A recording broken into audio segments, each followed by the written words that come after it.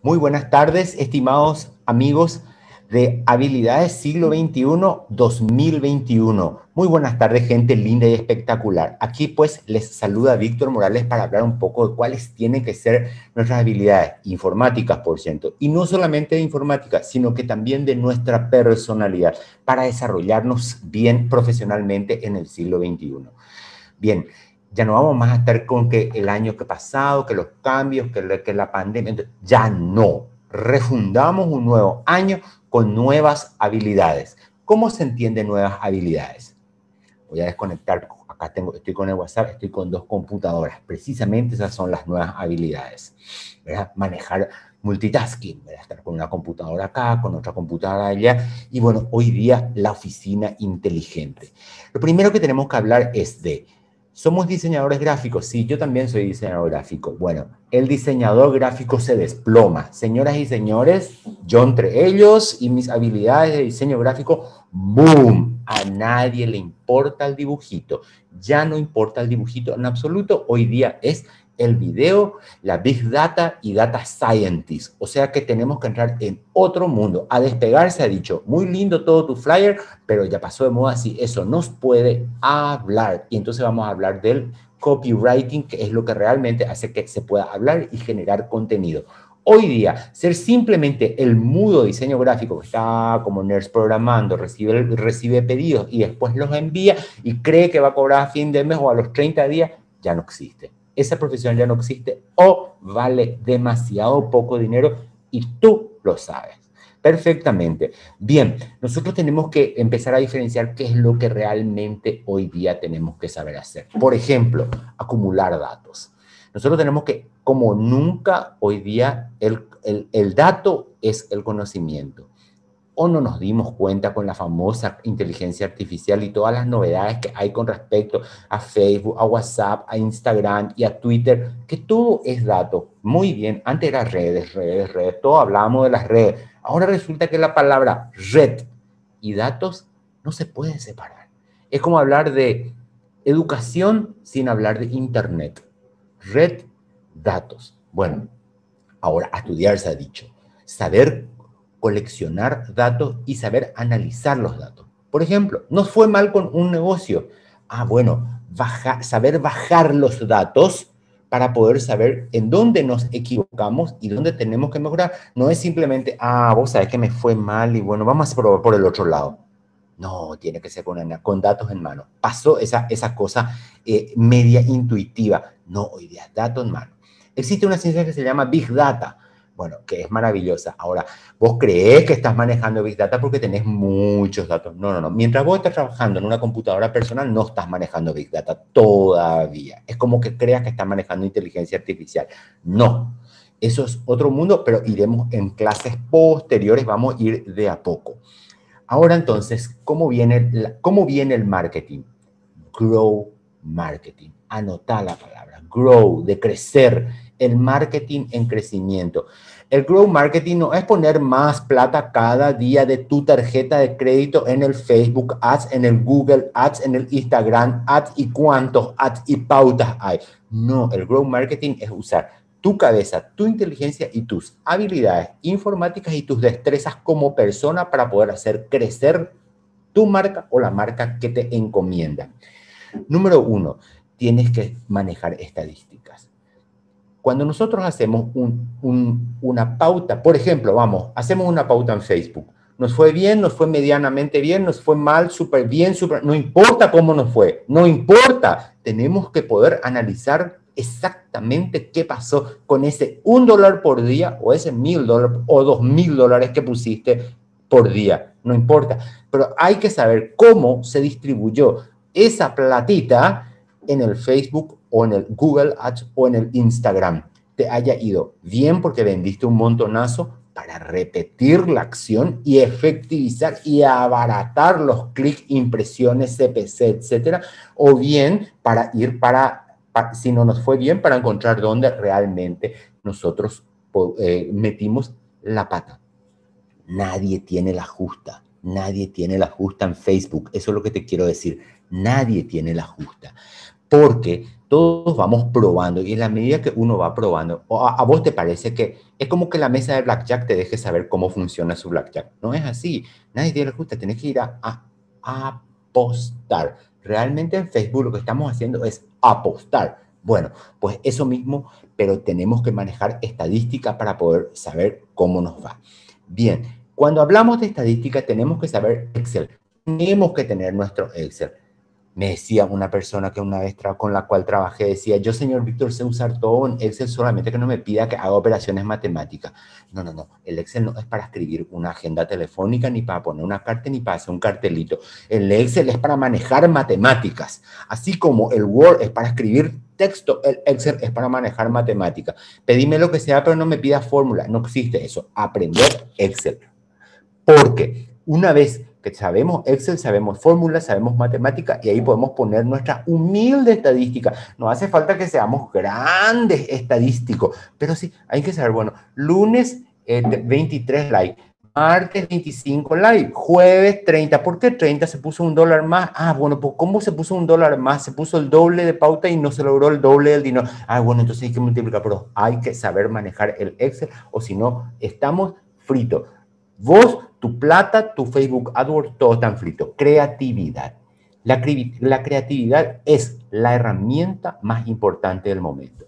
En este momento, si nuestras acciones no van, vamos a ser claros, si sos demasiado estructurado, estás frito. El siglo XXI te va a pasar por encima como un cohete y te va a dejar hecho pedazo, puesto que te gana la gente que tiene creatividad y todos los días hace algo creativo.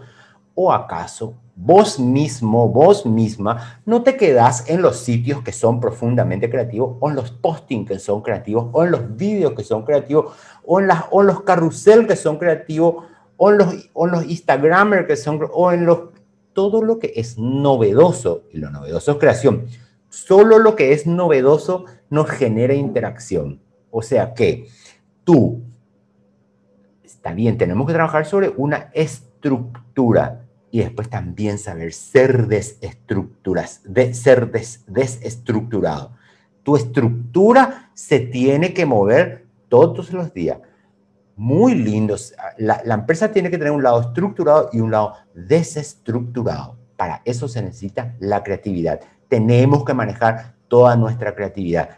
De más está decirte que mirando película todo el día no se genera la creatividad. La, genera, la creatividad se genera a partir de lectura, a partir de hacer, hacer manualidades, desarrollar alguna forma de arte, ya escribas poesía, ya estudias un instrumento, no, no, mi abuela me vendió el piano y no pude tocar el piano y no tengo 10 millones. No, viene por ahí, vos puedes escribir poesía y estás desarrollando tu creatividad. Escribirle poesía a tu novia, a tu novio, eso es creatividad, porque genera mapas mentales en los cuales se genera interacción de ideas Mientras que cuando estamos viendo Netflix todo el día, no se genera ningún mapa mental, puesto que te da todo digerido y no hay ninguna idea nueva. Por el contrario, se cierra todo para que sea lo más fácil posible. Dejemos eso para nuestro descanso, para el trabajo, ideas, creatividad. Copywriting. Copywriting es una de las, una de las asignaturas más importantes en este momento. Resulta que en, este, en esta red tenemos que escribir con 219 textos. En esta red hay que escribir con, eh, hay, que, hay que hablar a través de imágenes, fotos. En esta red hay que utilizar vídeo. En este recurso tiene que durar un minuto. En este recurso tiene que durar 15 segundos. En este otro recurso, nueve, los nueve primeros minutos lo que vale. En otro recurso, menos de una hora no vale. Es después, para escribir, si te ponen un blog, eh, mil palabras lo que se, se, valora. Pero si te pones en, en, un Twitter, ya es muy, muy largo, más de 60 Cada, cada red, cada mecanismo de comunicación tiene su propia regla, su propio copywriting.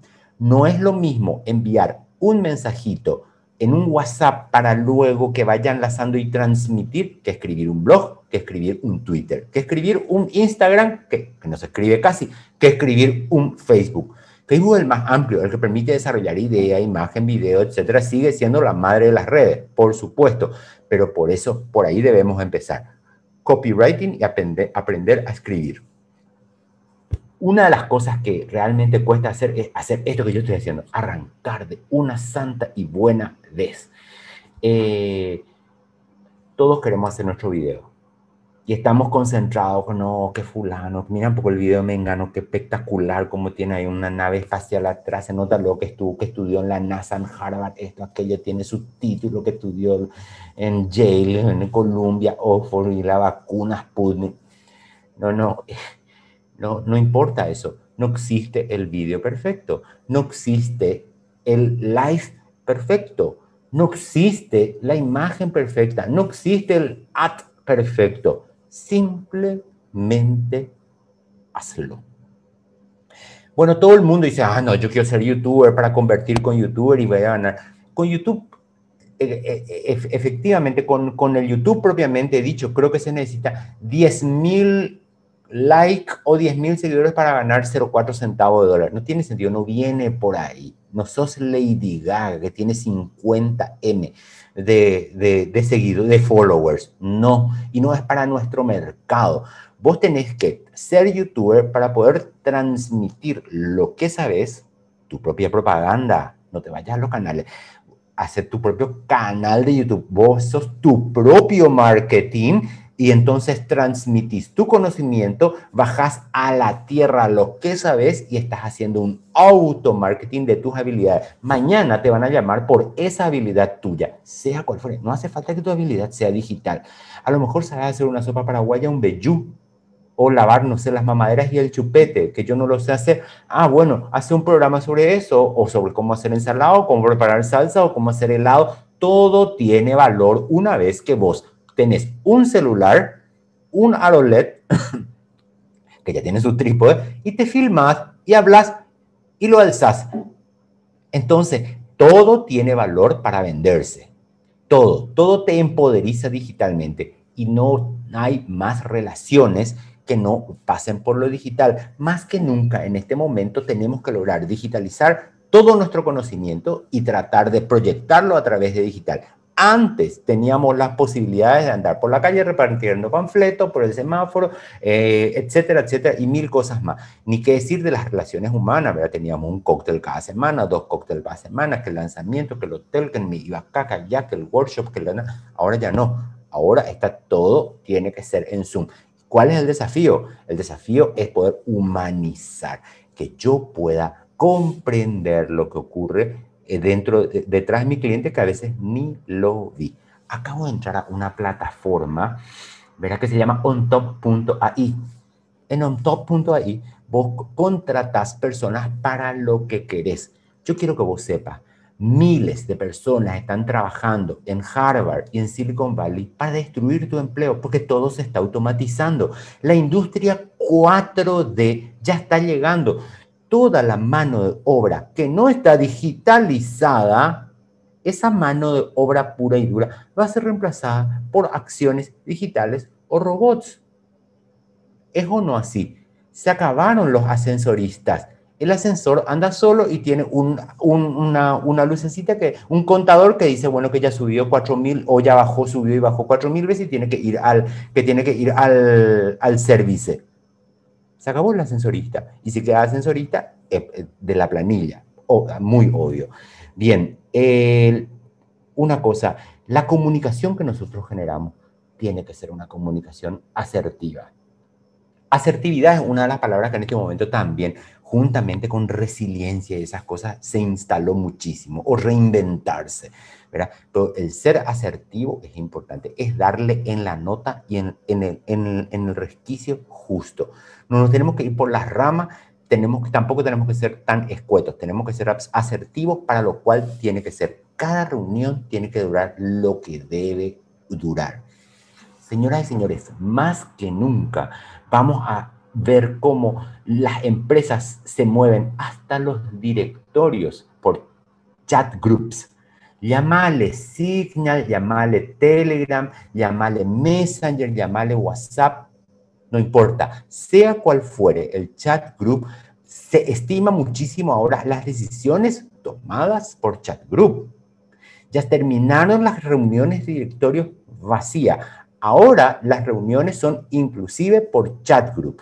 Y bueno, y a valorar se ha dicho, cuando tenemos una reunión, ya sea por chat, ya sea por Zoom, ya sea una reunión en un, en, un, en un directorio, o sea, física, presencial, tiene que, tiene que ser asertiva y tiene que ser ejecutable, que al terminar la reunión uno pueda accionar cada una de las cosas que se dijeron en la reunión. O sea, estar en el mundo digital no es tener una nube en el cerebro.